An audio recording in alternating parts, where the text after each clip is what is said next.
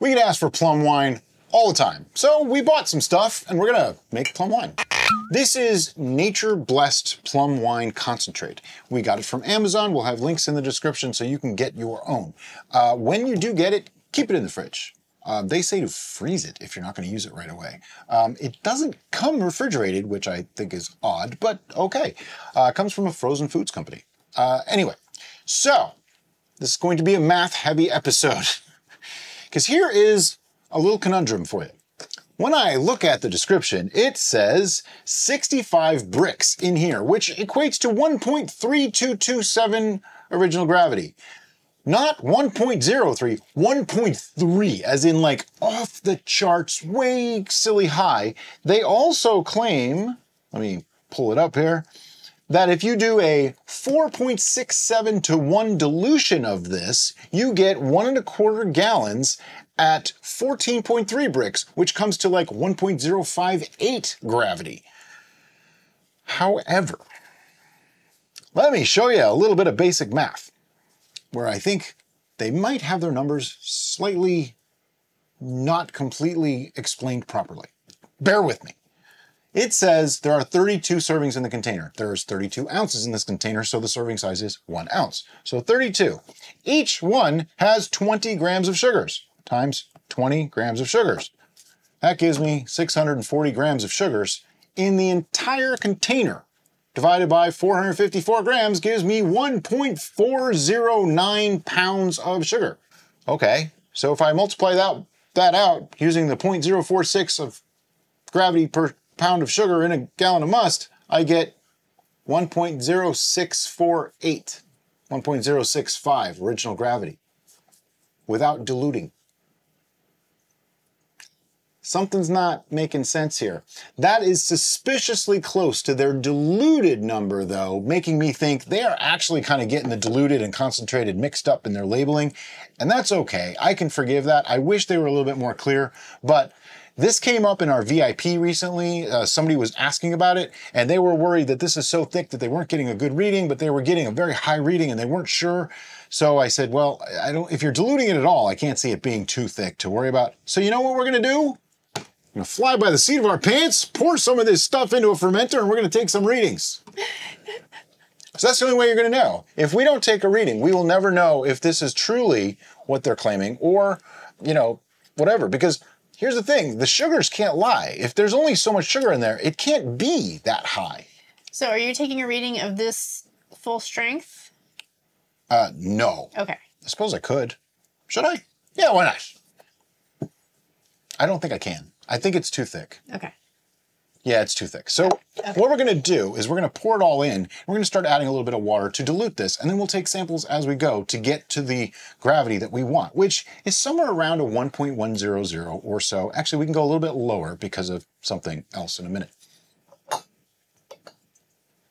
Yeah, that's a little thick. I don't think you'll get an, an appropriate gravity reading with a hydrometer using this stuff straight. Now, diluted is another story which makes me think they're not wrong about what they're saying, but I'm wondering if they mean one ounce diluted out 4.8 times. So you're really mixing one ounce of the concentrate with four ounces or so of water.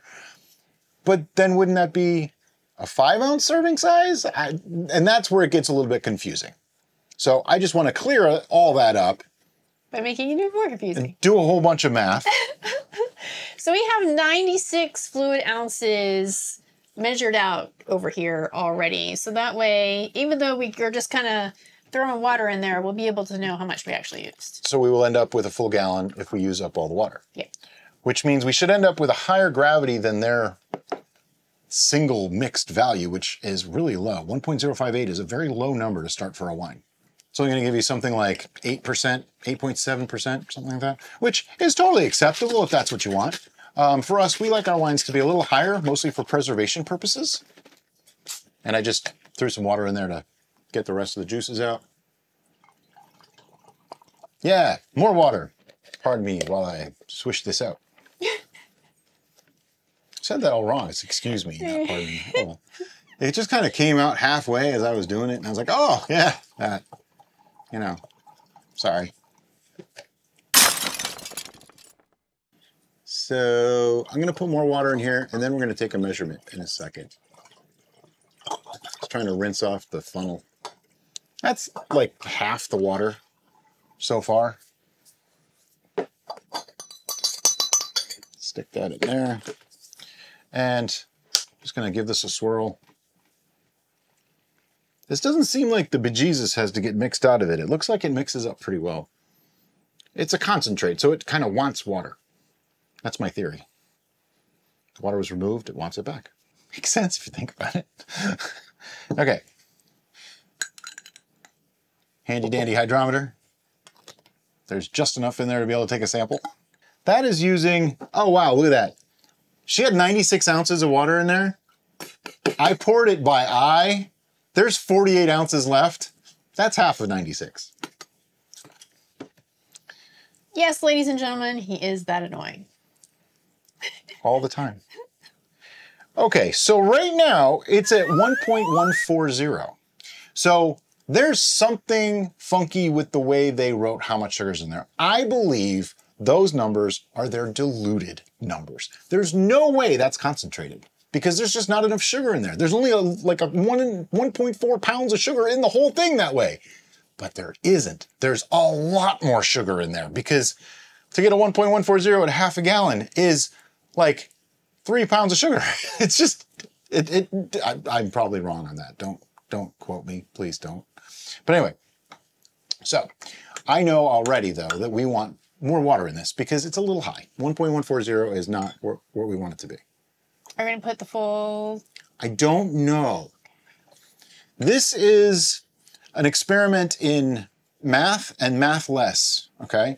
I used the math to see that something wasn't right, but we can actually go math less and get it to where we kind of want. So I'm just gonna add enough water until it drops it down to one point, you know what, let's go to 1.090.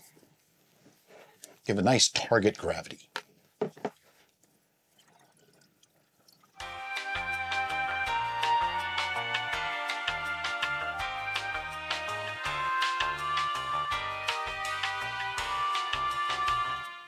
Now you might be thinking to yourself, why didn't you just let it go at 1.140? You make more alcohol. Well, yes and no. 1.140 is a little bit on the high side. A lot of yeast might struggle with that and it could stall. So I'd rather err on the side of caution and make sure that it's going to finish fermentation. Give it a good swirl. It's a lovely, rich, dark color. Oh color. yeah. And the thing is, these juices are actually really high quality. We've used them before.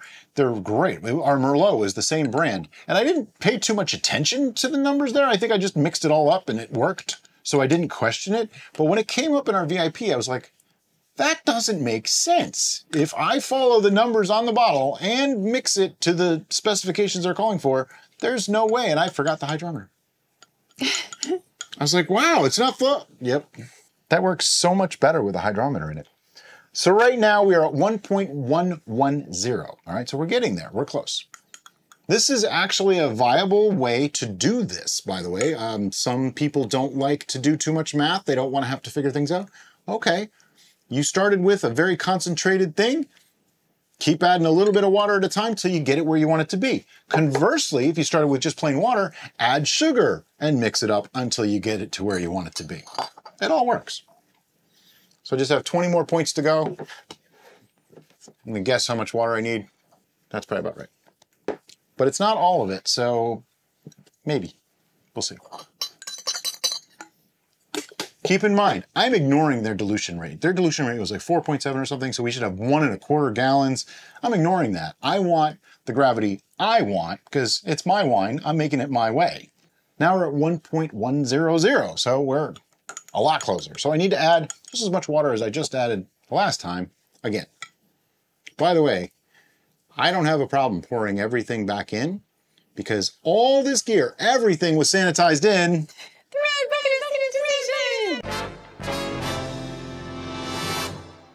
The one-handed. That's right. Threw her off guard. See, it's using up almost all that water, which is really interesting to me. When using a glass hydrometer and a glass cylinder, always like make sure it doesn't bounce in there. I don't call them hydrometers for nothing. Oh, I did not shake that up. See, got to be aware of a lot of things when you're brewing. if I didn't shake that up, I could have taken taken a reading and it was all wrong, and I'd wonder why. That is looking like 1.090. Okay, so we nailed our target original gravity. How do I come up with the target original gravity? Let me explain that. All right, let's also figure out how much water we used.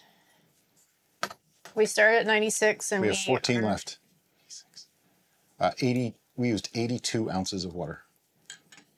82 ounces! We didn't actually measure the uh, concentrate though. I don't know if there's exactly 32 ounces. I'm gonna trust them.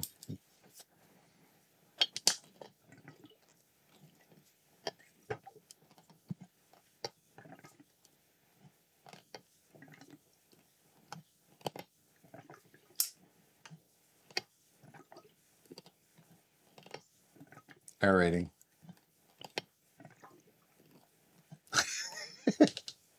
okay, uh, I need the funnel one more time because I I forgot to do something before I took my final reading, my original reading. Oh yeah, it's, it's a little bit of dilution there. I do have about one ounce of water here, so this will change the gravity ever so slightly. We are going to take another reading. Um, but this is Fermaid O. It's our yeast nutrient, and I like to add it to everything. This is about two and a half grams in one ounce of water. It's a, a nice way to add a little bit of extra insurance, give those yeast a little bit more to work with, because, you know, man, me, because, you know, yeast does not live by sugar alone. So, now I'm done with that. When sanitizing, don't fear the foam. When packaging up a fermentation, foam is not your friend. I'm not saying fear it. Just Be aware of it. Be aware. Keep it down. Push the foam down. Keep it away. It probably didn't change it much. We're doing this just for accuracy's sake. Okay, so apparently the foam was blocking my vision before. It's 1.092. Somehow it went up. It didn't go up. I just couldn't see it. You see how easy it is to be inaccurate? Yeah. That's why we don't really worry about a point or two. Yeah, it's all approximation. All right. But what I want to do is get out the calculator the teacher said I would never have handy and get an approximate potential ABV. Okay, so we started with 1.092. If it went to dryer, 1.000, which it could go lower, but let's just call it that. That gives us 92 points of gravity used times 135 gives us 12.4% ABV. Pretty respectable, pretty normal for a wine. Now that's assuming it went dry. That means we can sweeten to taste. Now you may have noticed we didn't put anything else in this. You know why? We have never used this juice before. We don't know what its flavor characteristics are when it's fermented. We don't know what this wine's going to taste like. So why would I want to add alterations now when I have no idea what we're working with? That comes later. But for now, there's one more thing to do. And what is that one thing? Now, one thing is to add our yeast. Our yeast of choice today is Premier Cote des Blancs. And the reason being is that it was listed as one of the better yeast choices for fermenting plum. And as we're fermenting plum juice, they would lead us to believe that that was the right choice. Also, this has a yeast tolerance of 12 to 14%. And based on Brian's math, we are in that range. 12.4. So it should go dry. It might go just short of dry, which is totally fine. We're probably going to back sweeten this anyway because plum wine is usually pretty sweet, like really sweet, which is probably why I like it. But anyway, um, now the yeast. We are going to use a whole packet. Why are we using a whole packet? We're using a whole packet because dry yeast has a random ratio that we don't know of viable, meaning live yeast, and dead yeast. Now, both are equally important in a fermentation process, but if you use a partial packet, you don't know what type of ratio you have are versus live versus dead. So, using the whole packet, we're guaranteed that we at least have enough live yeast At least four or five of them can get together, do the happy dance of love, and, build a colony. and build a colony. which is really not the way they work at all, but it's funnier when you say it that way. Now, do you need to use a full packet? Full packet in a one gallon fermentation? No, absolutely not. A full packet is designed for up to five gallons. We used to use half a packet for up to three gallons and then a full packet for five gallons. That's still a viable way to go. Um, I just started using whole packets and we noticed it worked better. Okay. But if you want to save a couple bucks, use a half packet. Probably not a problem. At this point, we just need a bung and an airlock. That would be you. That would be me. Okay, we have plum wine, just like that. It's automatically wine. No, I'm just kidding. Um, it's now called a must, okay? Um, it's a wine must. So this is going to go sit in our fermentation station for probably about two weeks. Um, and once the airlock activity starts to slow down a lot, by the way, when fermentation starts up, that airlock is going to start bubbling like crazy, okay?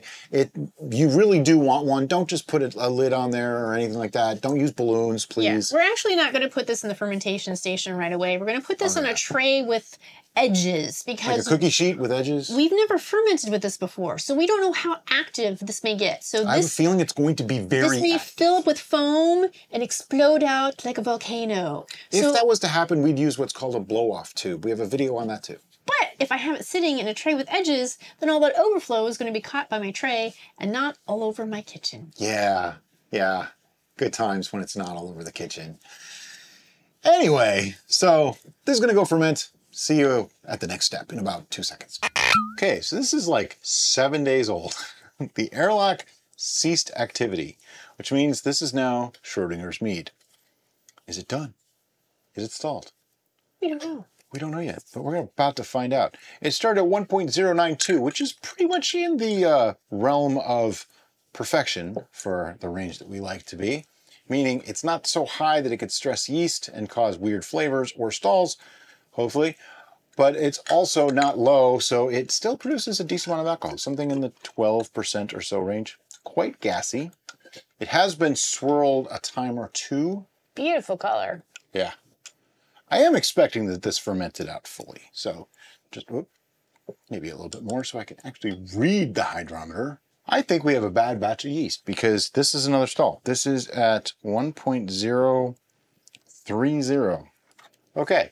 We've been seeing quite a few stalls recently, and it's starting to really trouble me. We did have someone suggest we're not using enough yeast nutrients, and I'm going to start using more. But in this case, we're just going to add some yeast hulls, give it a good shake, and see if it'll start up all on its own.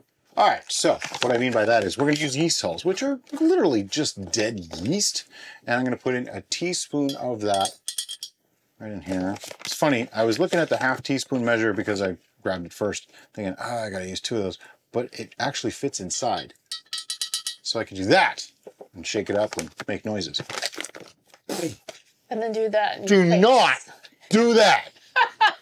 When he was doing that, I'm like, oh, that's uh, okay. Oh my God. It's like, Bad idea. it's like bad feet right up your nose. It's Just, powder. ugh. It's, but if you've ever smelled yeast hulls, it's not the most pleasant smell. It literally is like Bad feet. dirty socks, you know, nasty feet kind of thing. It's just, it, it's not good. You don't want that up your nose. you, you, you okay? You broke me. Derica is now broken. And what I want to do now is I want to give this a good mix. Oh man, I'm gonna get that on my nose first. Every time I take a breath, it's like, oh God, what died? I'm glad you think this is so funny. Okay, I put the airlock back on so I can mix this up. That is the second part to our how to fix a stall is to give it a good mix. See all the gases coming out? That's important. You want to degas, but we also want to get everything on the bottom up into suspension. There's still a lot of live yeast in this, so we want to get that going. You still laughing? I'm trying not to. I'm trying not to breathe through my nose. Wish I could share this experience with you. I really do. Oh, my cheeks hurt. So you see how much gas is still coming out of there. That's the idea. You want to degas this, get it shaken up really, really good. I'm going to continue doing this off camera because it's kind of boring to just watch me continue shaking something. And then we'll put it back in the fermentation station for probably a week or two. We'll be back to show you what it does. I don't know what's going on. Hold on. I took a reading. We started this two weeks ago. A week ago, we took a reading because it looked like it might have been done, but it wasn't done because it was a 1.030. So hopefully it's not done.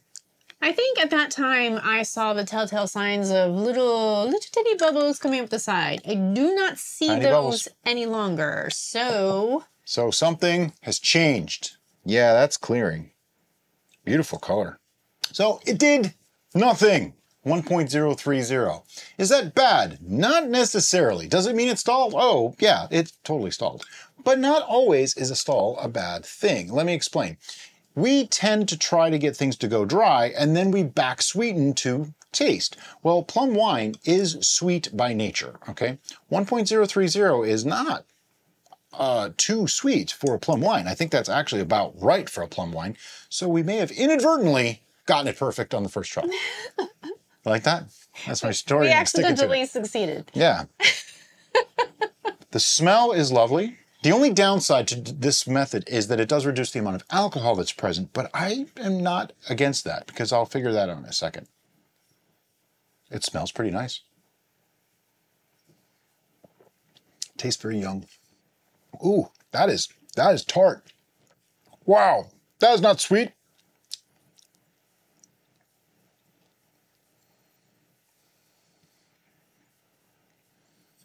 Yeah, the heck. That tastes super dry. Oh, it's just bizarre world. That ain't right. It's a little fizzy. It does taste super dry. It, It, tastes like it went. completely dry. It's very fruity, but it's that really Mouth puckeringly dry. Like, yeah. Oh, wow. I don't hate it though. Uh, I just want to say that. Right. It doesn't taste bad. It Doesn't taste like- dry. It tastes like plum wine at all though. No. Here's what we're gonna do. I'm gonna pour the sample back in. We're gonna rack this over to a new container. I I have an idea, and I know it's it's weird and a little counterintuitive, but I kind of want to go purchase some plum wine and take a gravity reading on that Oh, we can do that. to see how much sweetness registers on the gravity Yeah, they might be super high and we just don't know it. Like, see, the thing is, everything's relative. Like, we all think, oh, super high is like 1.030 to 1.050. Not necessarily, because if you think about it, like fruit juices are in the 1.05 range and not all of them taste really sweet. Yeah. A lot of like sodas and things like that are way higher than that. Yet people don't consider them, well, some people do, like I do. People don't necessarily consider them to be sickly sweet. Like Mountain Dew, for example. I'm betting you that is that final gravity is higher than most of our starting gravities. I'm just saying right now, I bet you it is. I used to love that stuff, by the way, so I'm not really making fun of it, but I am. But wow, that stuff has a lot of sugar in it. Jolt Cola. Um, How about that one? See now, if if I wasn't completely opposed to these things, I would say we that would be a fun video to do. Do they even make Jolt Cola anymore? I have no idea, I think we're gonna do it. but we'd have to purchase. Some. Yeah, we're gonna do it. We're gonna do it. Okay. All right, that's coming. All right. Stay so tuned. Let's let's take notes. Yeah. So today is 6 14 23 and it's at 1.030. But what I want to do is calculate how much alcohol did we make to see is this a viable wine as it is right now or do we need to do something to it to get it to go further? Um, so 1.092 is our original starting gravity. 1.092 minus 1.030 gives us 0.062 gravity used, or 62 points, the way I like to say it, times 135 gives me 8.37. It's 8. Uh, it's like right on the edge of what I call a wine. But you know what? We don't have to make that choice today because this needs to get racked and sit for a little while and clear out while we go and get some plum wine and find out what it. So do you want to rack it today since it didn't do anything? I think we should rack it. It's that's two readings at 1.030. All right.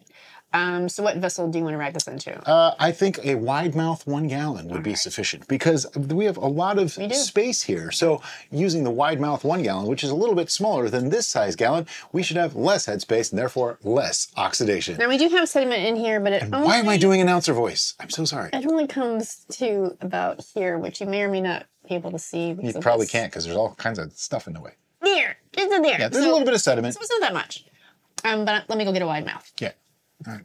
So racking, we use an auto siphon and I'm leaving the cap on. This is not a, just a protective thing that you throw away. It's actually meant to be there to keep the end from going all the way into the lees. Yeah. Trust me, years ago I threw them away because I didn't know. So, see that? We all make mistakes we all start somewhere. kind of important to know. So what I want to do is just get this in about halfway like that and then get it started.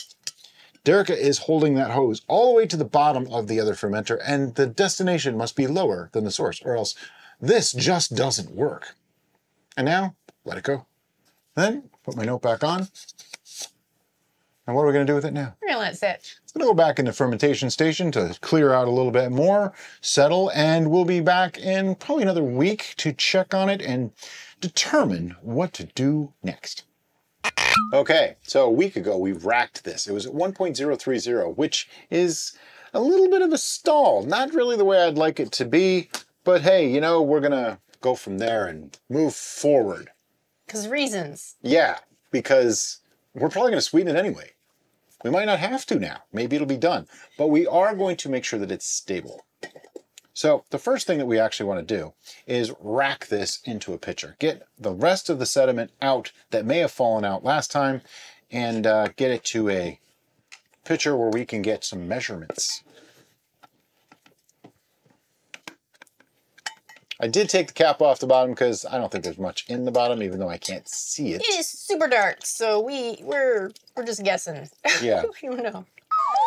All right, so yeah, there's just a thin little film in the bottom. Um, we tried to get as much as we could out of there, no problem, um, because this will probably be pasteurized anyway, so there'll be some more fallout. Uh, it, it's all good. All right, it's racked. We have 110 ounces. We're just gonna pour a small glass and give it a sample. So while we're doing that, I'm going to talk a little bit about why we are making this particular beverage. Our main reason of why we're making this particularly gorgeous, thank you very much, beverage, Ooh. is because of my mother. She is actually really fond of plum wine.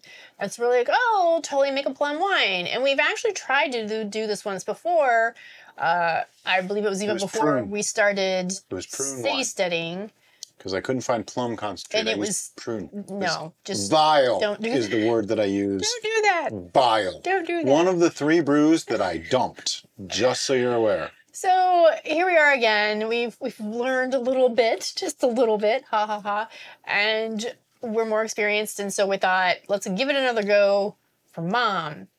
And then we're like, oh, you know what? We should totally compare this with one of the commercially bought plum wines that we knew my mom liked. And so I remembered a particular one because the name I thought was amusing because I'm childish at heart. And when we were looking at it, we're like, this isn't even a plum wine. What is this? This is stupid. And so we saw some other ones We're like, oh, this just must be commercial crap. We got to go to the Asian market and get the real deal. Well, I did some research. Plum wine isn't really plum wine. Plum wine really isn't plum wine at all. It's it's often misunderstood and confused because of its naming versus what it actually is. In most cases, it's a neutral spirit that has plum added to it. Oh, it's not even a wine. In some cases, it's a, a white or red wine that has plum added to it. So there's many Hmm, different wow. variations on that, but it's not actually fermented plums. well, Why? we made fermented plums. I don't know why, but it is a tradi- tradition that started in Japan, and they have uh, a specific varietal names for the different types that I'm not going to try to pronounce because I don't want to insult anybody. But basically, it's kind of like a, a, a sake rice rice wine scenario Oh, where okay. There's just a lot of different ways. to regional Are you gonna taste galore. that? I'm sorry, I was trying to get the words out.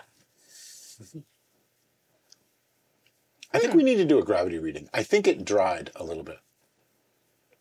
It's a really interesting flavor. Very unique, very different.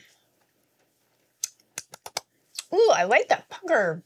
It's got a lot of um, good mouthfeel and astringency, but I do want to get another reading on it. Can, can you get grab the uh, hydrometer? Okay, so part of the reason why I want to take another reading is it was at 1.030 two weeks in a row, okay? But it's been another week, and something tells me we may have had a little bit more fermentation go on. Well, we didn't take a re or we did take a taste at that time, so we don't have. We anything- did taste it, and I remember it being a little sweeter than it is right now. Oh, you We did taste you it. You did taste it. Yeah, I don't recall. Because I remember this flavor, but it doesn't look like it. It looks like it literally is stopped at 1.030. Now, is that because there's stuff in the concentrate that we use that's non-fermentable? Possibly. Don't really know. Um, it didn't seem like it should be, and usually they don't have those things, but it is certainly a possibility. Okay, So I know we're about to compare apples to oranges here, but I want to do it anyway just because of what our end target goal was, and that was to replicate a traditional plum wine, which turns out to not be a plum wine at all. So I did go ahead and purchase one of the commercially available plum wines in our area. And so this is imported plum Fu-Ki. I believe is how it's pronounced. I'm probably pronouncing it wrong, but it is produced and bottled in Japan. And this is labeled as grape wine with plum and other natural flavors, an alcohol of 9%. So I don't know if we figured out what our percentage is. Let yet. me figure that out right now. 9% you said. Yep. Slower than expected. So we started at 1.092. We ended at 1.030. That means we went through 0.062 times 135 gives us 8.37. It's Oh, pretty comparable, Right. I would say. so to my brain, that is pretty awesome because we can cheat right now and we can actually take a gravity reading on this to see what its sugar level is at 9%. Okay. You want me to just drop it right into the bottle, or how am I doing it? Just is that a thing that you can do in your fantastic pouring capabilities? Or do we need a funnel or what do we, what do we need here? The trick is getting it back out. Oh, I think I could do it. Okay. All right. Nope, Nope. displacement's a problem. All right, so here's what we're going to do. The theory of displacement. First, we're going to pour the sample. First, we have a color discrepancy. Good golly, Miss Molly. That's disappointing, isn't it? I, I want it to be plum colored. Good golly, Miss Molly. Did you really just say I that? totally said that. Okay, that is actually floating. However, I can't read it. Dark bottle. So let me get a flashlight here and see if I can see it. Oh yeah, there we go. I can see it now. Oh boy. You want to say you want to say your thing again? What did you just say? Good golly, Miss Molly. 1.072. to say this is sweet is a bit of an understatement. Now we knew that because we've had this before, Yep. but I didn't realize it was that. Yeah, me either. That's Do you want to write that down just for reference? I mean, we don't have to match that. That would be silly. So what's really interesting about that too is um, people like to criticize sweetness levels and things like that. Say, oh, that's disgustingly sweet. Here is a commercial product that is actually 1.072. That is almost the starting gravity that we use to make this, just so you're aware. But right off the bat, we have some differences, folks. I don't think they're anything close to the same. Ours smells like uh, a cherry, Yeah. kind of dark fruit. I was getting cherry notes in the flavor. Yeah. Theirs smells like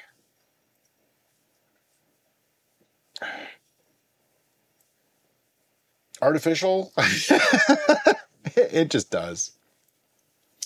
Um, I don't hate it because I, I actually like plum wine too. Uh, see, it smells like cherry cordial. Yeah, it smells very much like a fortified spirit rather than an actual wine with plum juice. Yep. Not to say that's bad, Yep. Yep. just different. All right. So Hey, yeah. this opens us up. We might have a new video to make. Can we make a real plum wine? What? you mean a real, not real? A real Japanese authentic style plum wine. How's that? yeah, that makes sense, right? We made a real plum wine, but can we make a Japanese style plum wine? The differences are shocking. Oh, this is nice, actually. But drinking that, It's like drinking, I understand now why sweet. mom likes this it's sugar water. because her other favorite is Chambord, which is also very much a liqueur versus a wine. Okay, or I have an idea. Oh, okay, we're getting ahead of ourselves, but we can't help it because we're not scientific people. You saw this coming.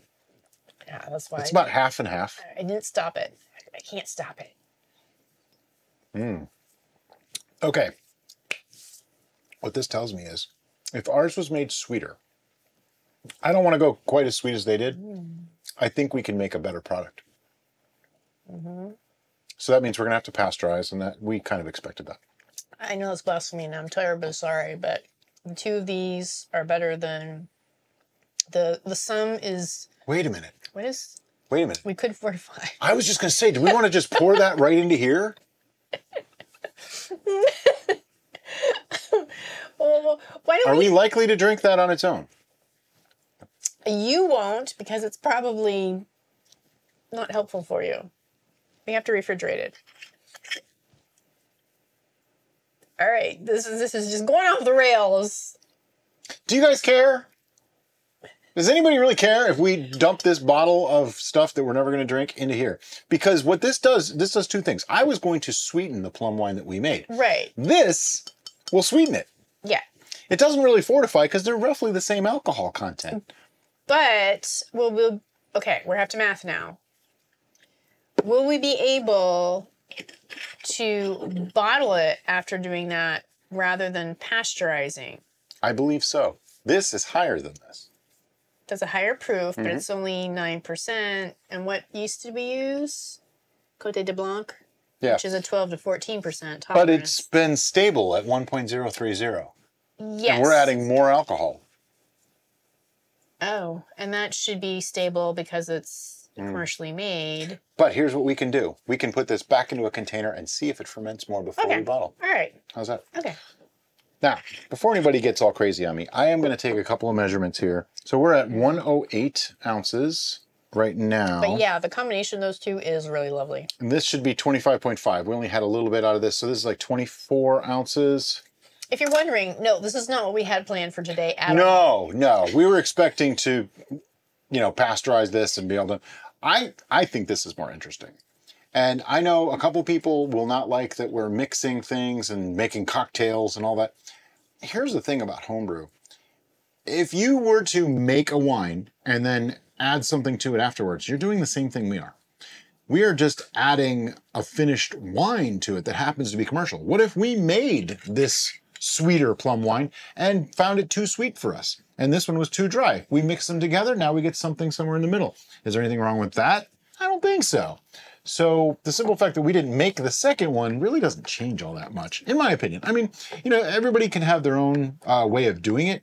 We did this mostly for fun, just to see what'll happen, you know. And we're still on the chart, so I can actually see where we're at here. And to make mom happy. Okay, so we started with 108 ounces, which is right there. So that is 3,400 milliliters, and we're at 3,800 now. So we added 400 milliliters of the uh, plum wine. I could do crazy amounts of math, but I'm going to tell you right now, it's something like 8.5% or 8.6%. It's it's in that range, okay? It doesn't really matter that much. The point is, how does it taste? I mixed it up a little bit. Let's give it a taste. It's still got a gorgeous, gorgeous color. I get a little bit of the sweet, the the uh, the aroma from the plum wine, and still get ours too. Okay, what this did, it softened what we had going on. Ours had a lot of acid going in there. There's a lot of brightness in there. It took that down because I felt that theirs was just sweetness without a lot of anything else. There wasn't Yeah. a lot of balance Yeah. to it. It was just very, very sweet. Taking that overly sweet with the overly acidic, balanced them together and took our acidity level down to a tolerable level and brought up the sweetness level just enough to make it really nice. Ours had, and I mentioned that right as I took the initial sip, this really lovely bright sharpness to it. And it has retained that, but now it has some of the sweetness, so it reads 100% as ripe, juicy fruit. Yeah, And that, to me, this is way better. is an elevation between the two products. Yeah, yeah. Each of them had a flaw. By combining them, we lessened those flaws and made them better. Now, I'm not saying that they make a bad product. No. It's for our personal taste, that was way too sweet. But plum wine is a sweet thing. It just always is. What I do want to do though, what I do want to do, yeah, is take a reading on this. I'm guessing it's going to be somewhere between our 1.030 and 1.072, probably closer to the 1.030. Based off of what I just tasted, I'm going to say it's probably about 1.038. Yes, I know, I put myself on camera saying stuff like that. It's okay to be wrong. There's nothing wrong with making mistakes. No, it's, it's how you that was an recover. educated guess. That wasn't. Yeah. That's how science works. You you Oh no. I got it. 1.038. Am I wrong? no, you were not. Okay, so it ended at 1.038. I also kind of did the math in my head. I didn't do it off camera, I swear. It was, it was my, um, FG with all that mixed in. To me, this is great. And I think we can rack this to a, a fermenter, put it under airlock, leave it for like a week, see if it moves at all. If it doesn't, I think it's safe to bottle. Yeah. Because it's not necessarily something that needs to be pasteurized because it's already stable. You know what I mean? And then the commercial product is already stable. So we're adding a stable product to a stable product. Alcohol is slightly higher. So with more alcohol, even with more sugars, and it was already done, I don't think it's going anywhere. It could prove me wrong. That's why we put it under airlock for a week, just to be sure. So let's say you didn't want to add a commercial beverage to the plum wine once it was at the stage that we were at prior to doing that. If you wanted it to be sweeter, you could simply add a sweetener of your choice. Since we were going the wine route, I would suggest sugar.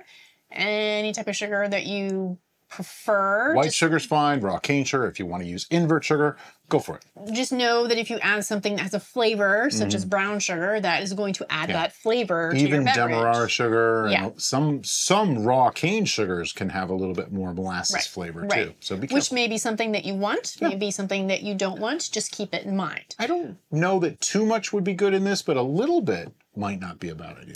Uh, beyond that, because you are adding a fermentable sugar, you're going to want to stabilize. Our preferred method is pasteurization. You can use whichever method that you prefer.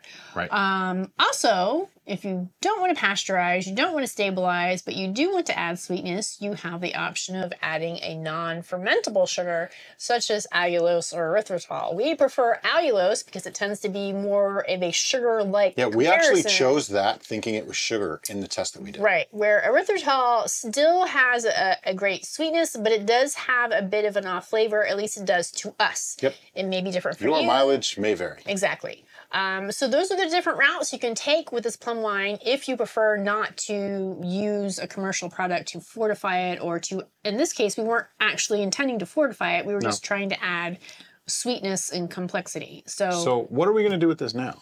We're going to rack it, and racking then it.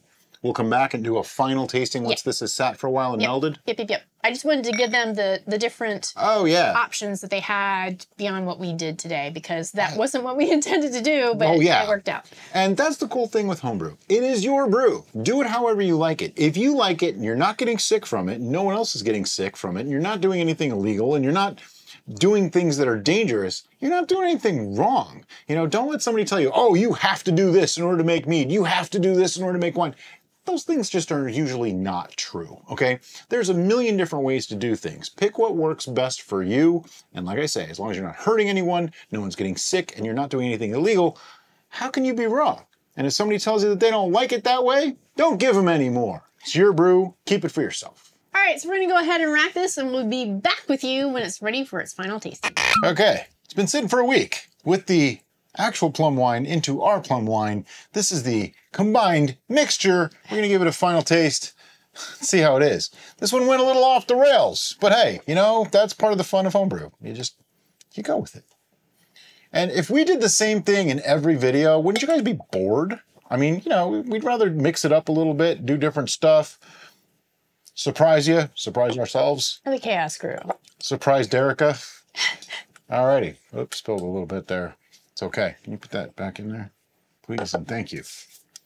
Okay, so this is 1.038 gravity now with the other wine added, and it's something in the 8.4% range.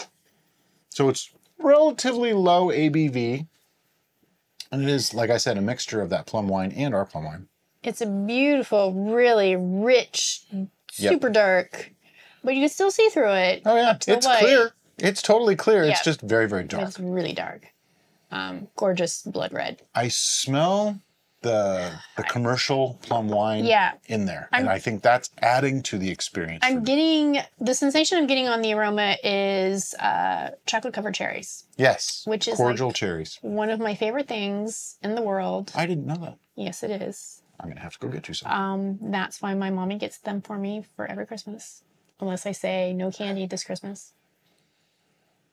That's what I'm getting on the aroma. I, I get that, and I get like the deep, rich uh, smells of plums and, and stone fruits. Just it smells really, really. My good. brain is saying chocolate because I'm going to the chocolate covered cherry realm. I can imagine the chocolate, but there's no chocolate present. it's my brain. My brain works in mysterious ways. Okay. On. Wow, there's a lot going on there. It's got this very interesting. I can't even call it astringent. I don't know what it is. Tart. It's tart. There's a tartness mixed with sweetness. kind of slaps you around a bit, Yeah. and you're not too insulted by it. Oh, this is nice. oh, the comment section. but I'm getting all the dark richness of plum and dark fruits, like dark cherry, plum. But then there's that tartness there that keeps the sweetness down. Immediately, my brain goes, "You want this chilled." Maybe. Might be better chilled. We drink, okay, we taste things at room temperature because that way it's a standard. Unless it's carbonated, then it's chilled because of science. Because that's what you do. yeah. Um, But yeah, chilled, this might be a little bit better. When you chill something, it tends to take the flavors down. So in this case, I might take that tartness down a touch. We're not going to find out because I'm not going to go chill all this and then taste again. We're not. We're not doing that. Sorry. I don't mean to disappoint everybody. I like it. It's funny. It's making me do the alcohol face, but it's not because of the alcohol. It's the tartness. The tartness is just, Definitely. It's Can you hold on? it's just some gotcha. more. It grabs you and shakes you around. You need more too. I apparently need more too. Try not to overfill her glass. She'll finish every I will. drop. It's it's a thing. Um. So this is interesting. I. This is almost pushing it towards an experience beverage. I think it is an experience beverage. rather than just your plain old humdrum. I see this as something that I would. It's either an aperitif or a digestif. This could be either one it could be either or. because it's got that tartness that opens your palate up for food. You could have it before, or you could have it as a after. as a cleanser. Yeah. this is this is unique, is what this is. It's Yeah, very different. And when you said, "Oh, hey, let's just put the plum wine in our plum wine," I was kind of like, Yeah, "Real- why? "Really? Yeah, I know. mean, I come saw the face. on." I've reviewed the tapes. But now I'm like, You "Oh, see the wisdom. In this is choice. like a whole new thing. Mhm. This is not." This is not your plum wine, super sweet. Oh, let me just drink this because it's candy. No, this is a this is a whole new thing. Now remember the the Fu-Ki wine is 1.072 gravity. We got this down to 1.038 by mixing things together. Yeah. Um, Yeah, their their stuff is really really sweet. crazy sweet. Yeah. And that's just I think it was too much. that's just what it is. With the with some of that mixed into what we had, I think it makes it nice because ours was very very tart. Theirs was very very sweet. So when you combine them, you get sweet tart. yeah. And, and if you if you like the sweet tarts candy, Then this is great. this is great. And I happen to be a fan of those. So there you go. Okay, so we have to do two scores. We do two scores now. We do a performance score, which is how did the brew do? Did it do as expected? Did it have off flavors? Did it have any weirdness? Was there difficulties in the fermentation process? Did it do what we wanted it to do? And then our second score is our own personal enjoyment score, which is where we basically say, I like this or I don't, you know, that kind of thing. Were we able to figure out the ABV on this? Um, it's 8.4 Okay. ish. Because I'm not getting alcohol No, there's at all. very little alcohol. Like, I mean, I wouldn't say that. It's it's like a very strong beer or a medium strong beer. But I think the tartness is so Yeah, it's Forefront a that I'm little bit below what I would even consider a wine, but just 0.6 points. It's not Yeah, that far. yeah. it's, it's pretty close. I would. It's I a think- it's a wine. I think the commercial wine category, I think it's It was the same. It was like 8.4 or 8.5. considered a wine. Yeah, yeah. So there you go. But when it comes to performance, that's what we have to look at. Did it do what we wanted it to do? How did it do? In this case, we had a stall. It stalled at 1.030. And then it was kind of strange, and we had to add other stuff to it. So, you know, that tells you some stuff. Do you have a performance score? I have a performance score. All right. Are you ready? I'm ready. One, two, three, Seven. 5.5. Yeah, I probably could go lower too oh, because on its own, it wasn't going to where we wanted it to go. But then, uh, and sort of researching before we started, we researched after we started to find out that what we were trying to make wasn't actually even a wine in the first place. Well, we made one. We totally made plum wine. We made plum wine, but to try to make the actual plum wine but isn't really a wine. That's not what plum wine Yeah, is. it's a liqueur. So it's And it's okay. We made plum wine. then we mixed it with plum wine. So we have plum wine.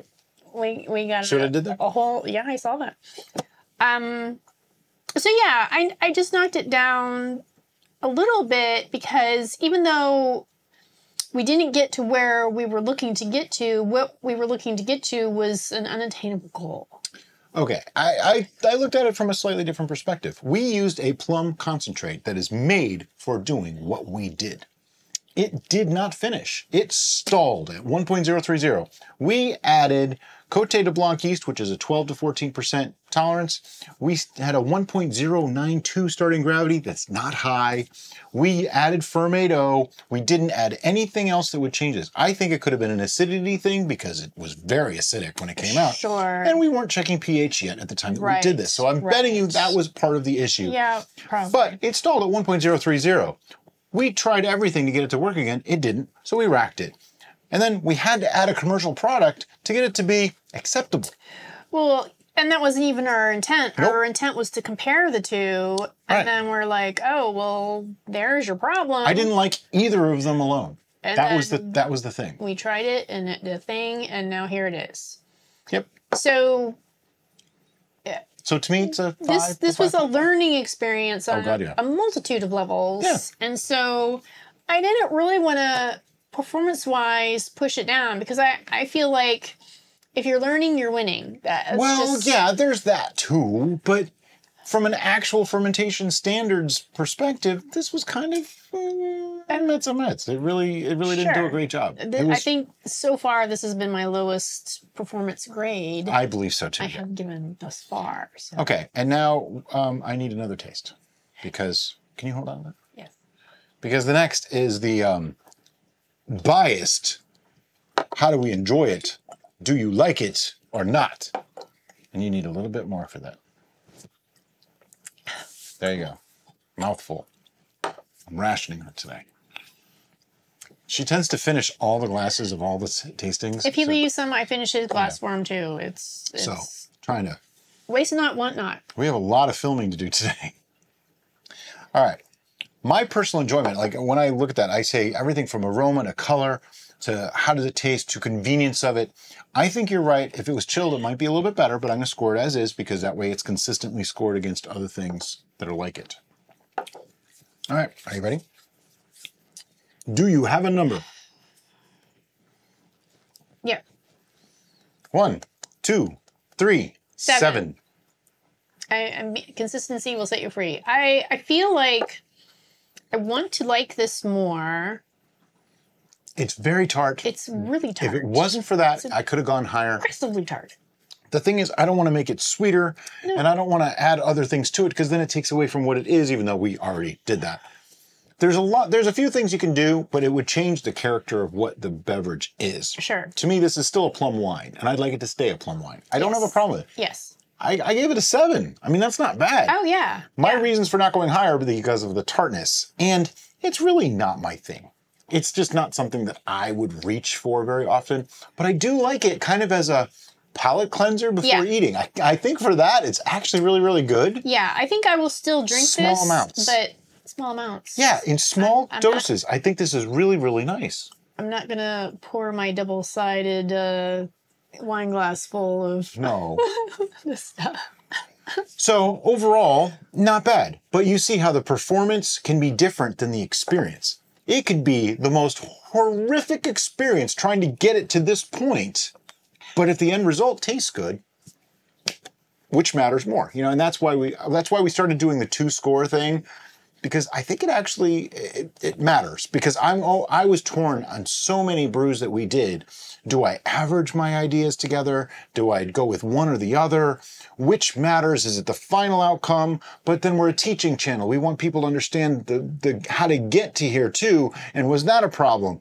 So I think giving both. I I know I keep rationalizing that, but I think it's a good idea. Sure. And my takeaway from this is th- these this particular brand of concentrates. The more I research about people's experience with using them and how they suggest using them, seems a lot more complicated than what a concentrated Well, their math doesn't work. specific thing should be. Their math is just So weird. Not saying it's a bad product because obviously it works, and we've used them on a couple other things and they worked fine. but I think Just uh, further know what you're getting into. Yeah, is necessary. yeah. It's it's not for the casual beginner. Let's put it that way. Um, but anyway, we're gonna put this away for like what a year. We'll, we'll taste it another. We're year? to bottle it. If you are unfamiliar with our bottling practices, I'll put a link in the description below of our full bottling procedure.